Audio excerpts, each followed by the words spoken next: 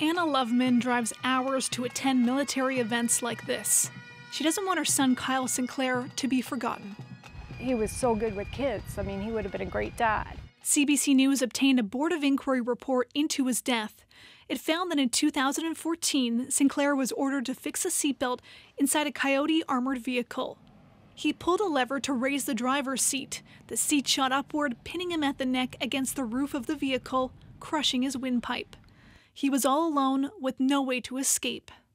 Later in hospital, his mother made the difficult decision to take him off life support. You're almost numb, like you just don't really think that this is really happening. And then when you see the straight line, you go, okay, it did. So.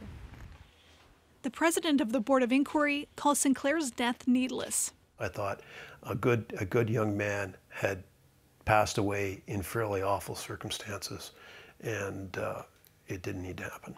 The inquiry revealed that another member of the military died in the same way as Sinclair back in 1999.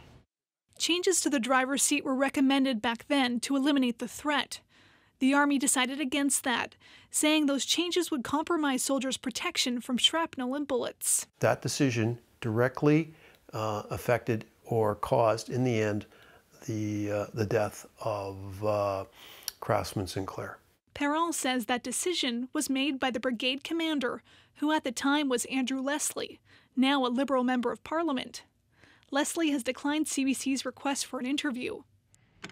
The Army has since replaced the hazardous seats in all its coyotes, except for five stationed in Latvia. We've learned from it, um, and we're safer today than we were yesterday. Ashley Burke, CBC News, CFB Petawawa.